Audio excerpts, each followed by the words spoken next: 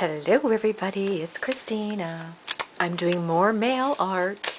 Okay, so my last video was um, these envelopes that I did and um, I was reading uh, a comment. Someone left a comment on this envelope, well not really on this envelope, but sort of about um, putting these through the mail and it might be more expensive and I can't remember what else she wrote, which got me to thinking why only make them for, I mean, I'm in that swap, and it is for mailing, but let's just say it's somebody's birthday, and you're going to hand deliver a card, or um, you're doing a swap, or you're doing a rack. And, of course, we always um, give cards in the swaps and the racks, so why not make a really pretty envelope rather than, let's just say, for instance, I want to give this card to somebody, and I don't want to put it just in a plain white envelope. Why not put it in a pretty envelope? So I've done the same thing with this envelope. I just took random, three random colors, um, wiped them on my mat, sprayed some, um, took my mister, sprayed some water, and smooshed it, dried it with my heat gun. And I like that, I don't mind at all that it's not all covered because once I take my ink and do this. Looks so cool. And I like using this color here, Wild Honey. Nice. Ooh, yeah. So pretty. So all those white pieces now. It's beautiful. What was this called? Wild Honey. Mm -mm. You know what's another favorite color of mine is brush corduroy. See, look how pretty that turns out.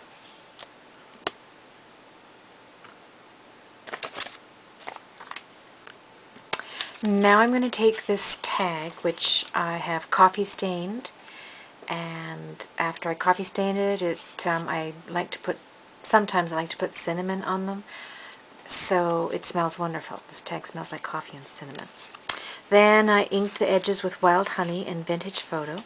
And then I have this stamp set by Hot Off the Press, and it's called Ticket.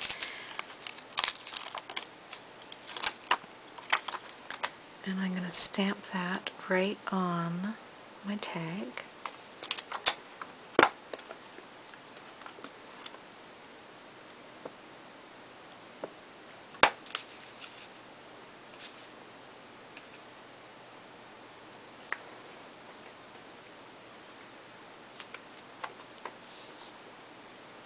Then then I'm going to do the take the one here just for you or let's say you could put the person's name right in here right? You could write the person's name in there but I'm going to stamp just for you.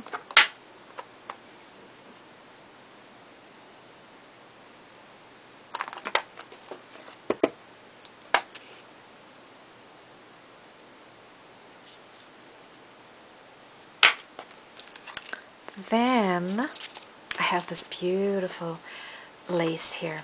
I love the color. It might look very orangey on the camera, but it's, well, yeah, I guess it's orangey. And I'm going to cut a piece off. And then I'm going to hot glue it just on the bottom. Yeah, that look cool. Alright, so I have some of this trim here, so I put it on the top of my tag.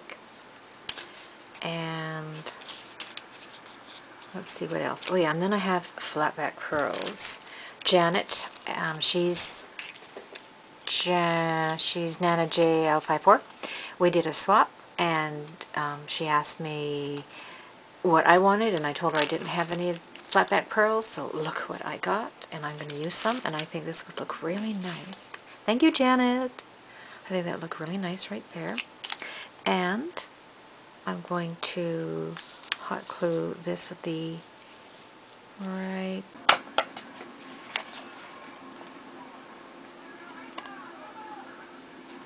If you hear noise in the background, that's because hubby's watching TV. Okay, so there we go. From that to that. Isn't that cool? I just love how the inks all blend together. So then you take your card that you've made, tuck it in here, tuck it in your envelope, and then put it in your protector, plastic protector.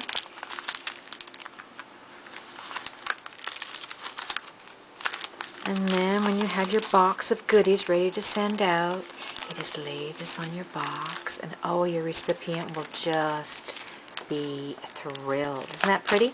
Okay, um, just had to share that with everybody. Yeah, I think I'm on a uh, mail art envelope thing right now because it's so quick, it's so easy, and it's so beautiful. So, you never know, girls. You might get one of these in the mail from me. Okay, bye-bye, everybody.